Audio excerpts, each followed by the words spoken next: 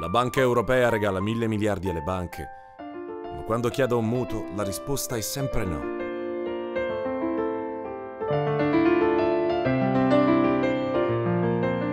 Con la lira la mia pensione era dignitosa.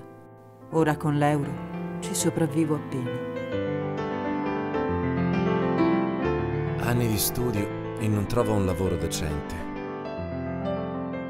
Sarò costretto ad andare in Germania e non voglio.